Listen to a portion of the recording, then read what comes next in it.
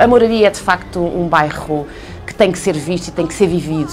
É o bairro mais central de Lisboa, para mim é a Moraria.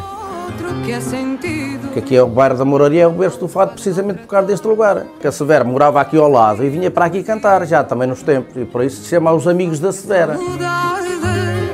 Outro que é alegria, o fado não tem... Sinto-me muito bem recebida. As pessoas passam, vêm a porta aberta, mas acabam por entrar e ver, ai que bonito, é que não sei o que, e conversam. É como um navio que chega à noitinha, tomou-me conta da alma, tirou-me da calma, na indição que vi. Esta encosta foi sendo povoada ao longo dos séculos por inúmeras pessoas, eh, desde os mouros e todos os outros povos que aqui habitaram e que já não cabiam no castelo e foram ocupando sucessivamente a colina. Ou seja, quem circular na moraria tem a possibilidade de uh, atravessar uh, diferentes épocas, diferentes formas de construir, de desenhar edifícios. Já um fado falado, já um fado canção, o triste fado do fado. Aqui acontece muita coisa, todos os dias são diferentes, uh, temos a participação ativa de, de, dos moradores que fazem aqui festas de anos, uh, encontros de família, muitos vêm cozinhar. No fundo é uma casa ou um prolongamento das nossas casas aqui do bairro, onde todos se podem reunir e, e encontrar.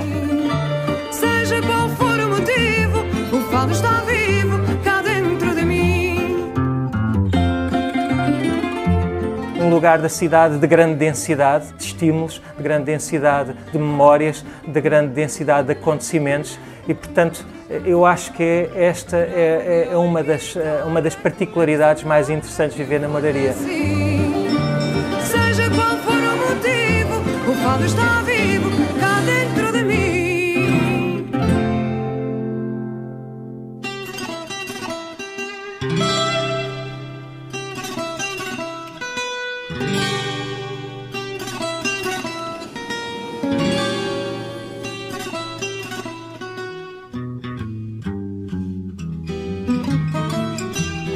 É bonito, sinuoso, nós gostamos destas coisas, o sinuoso, os telhados em cima das escadas, as escadas dentro de, das janelas das pessoas.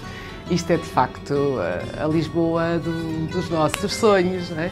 é um dos bairros mais populares e autênticos de Lisboa. Aqui nasceram grandes fadistas aqui no bairro. Olha, aquela que está ali a Mala mas ficar no bairro.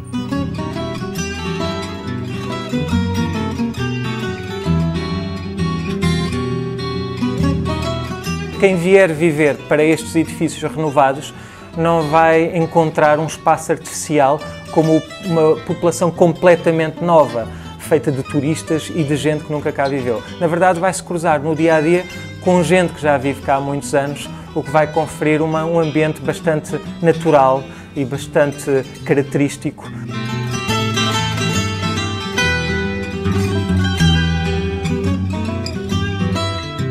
Temos várias gerações eh, de pessoas aqui a viver. Tu tens crianças, tens adultos, tens idosos, tens jovens, tens imensos ateliês artísticos. Eh, eu acho que as pessoas aqui tomam muito conta do bairro. É uma família grande. É o senhor da farmácia, é o senhor das velharias. É... Acabamos por, por ter aqui um, um núcleo uh, e uma pequena comunidade entre pequenos artistas e pessoas que ficaram e que estão por aqui e que têm as suas atividades e, e acho, acho enriquecedor, de facto.